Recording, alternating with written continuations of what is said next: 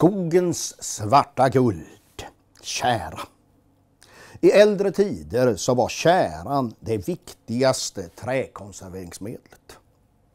Allt från tak, båtar, redskap behövde en årlig strykning med kära. Man använde också en mindre del av käran inom läkekonsten, framförallt till sårbehandling.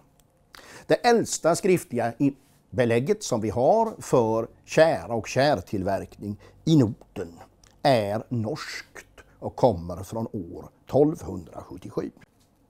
Mycket tidigt kom också Gotland att bli en otroligt viktig region för kärproduktion.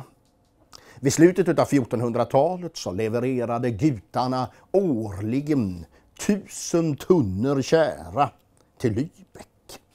Även Småland kom mycket tidigt in i produktionen och den bara ökade och ökade och kom med tiden att bli en ytterst viktig handelsvara. För kärtillverkningen så krävdes det kodindränkt tallvirke. Dialektalt så säger man i norra Kalmar län Tyre medan man längre söderöver säger ”Töre”. Det här finns exempelvis i gamla tallstubbar. Det finns i mekaniskt skadad ved. Och det är ett svampangrepp. Det är den så kallade töreskatesvampen som ser till att det blir tör utav det hela. Man kan öka på produktionen. Man tar helt enkelt en tall och så skadar man den. Man skalar bort barken och ser till att man kommer in i tallens kambion. Och eh, det här det kallas för kärväckeri och var helt enkelt en viktig del i produktionen för att öka helt enkelt. När man har fått ihop tillräckligt med töreved så eh, kontaktar man någon på ämnet kunnig. Eh, det finns till och med belägg för någonting som vi skulle kunna kalla för kärmästare. Alltså en person som tog till sig att skaffa töret, att bränna töret och dessutom paketera det i tunnor. En väldigt viktig del det är ju den så kallade Kärdalen. Och eh, lite enkelt uttryckt så kan man säga så här. Man skaffar törved. Man eh, transporterar fram den till tillverkningsplatsen.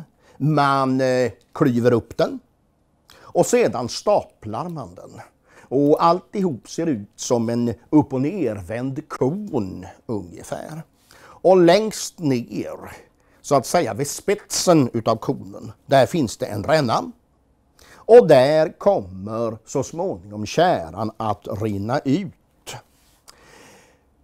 Man kan säga att det här är en slags torrdestillering. Man eh, täcker över hela Kärdalen ytterst noga. Det får absolut inte komma in någon som helst luft. Och den här torrdestilleringsprocessen den liksom trycker ut, den pressar ut käran. Och eh, när gjorde man det här? I det gamla bondesamhället? Ja, använde vi den gamla tideräkningen så satte man igång i någonting som kallas för knäppveckan. Och eh, alltihop ska vara avslutat i den så kallade Pesseveckan. Och tidsmässigt så ligger vi alltså någonstans mellan 25 maj till 25 juli.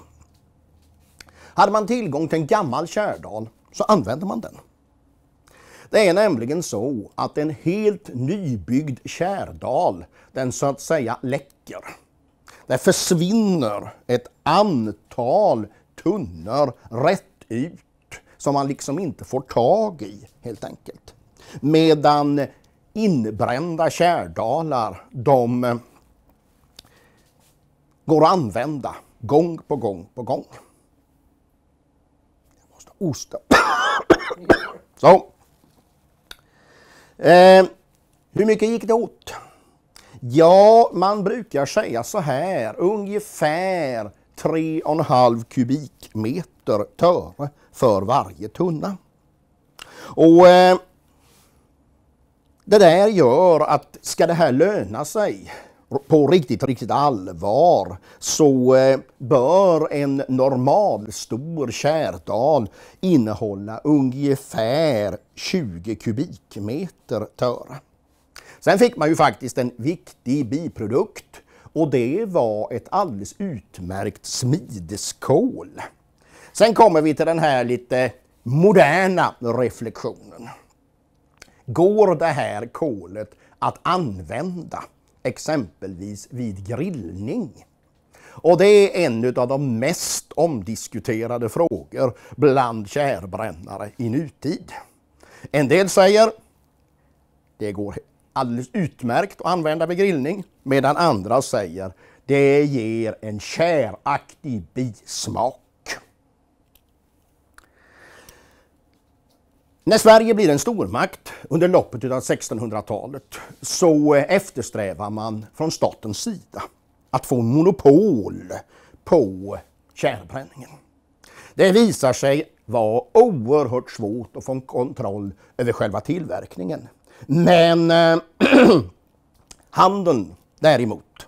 Den, ja, just det. Eh, det visade sig vara svårt att få kontroll över själva tillverkningen. Men eh, handeln gick att göra monopol. Och redan på 1620-talet så gick exempelvis all handel med kära från Norrland och Finland via det så kallade Norrländska kärhandelskompaniet med säte i Stockholm. Men här nere i söder, bland den styvnackade småländska allmogen, så eh, var det inte lika lätt. De motsatte sig alla former utav monopol. Och det skulle dröja ända till 1689 innan staten hade fullständig kontroll över de, över de småländska kärhandlarna. Ger vi oss in i siffror? Ja, på 1690-talet så levererar man årligen exempelvis från Västervik 10 000 tunnor. Vid samma tidpunkt så kommer det från Kalmar ungefär 2500 tunnor. En annan mycket viktig utskeppningshamn var Köpingen Döderhultsvik, nuvarande Oskarshamn. Och där skeppar man årligen på 1600-talet ut ungefär 5000 tunnor. Det finns ett skriftligt belägg. 1663 så klagar prästen i Döderhult på att eh, traktens bönder mest håller på att transportera kära och de gör det på söndagar.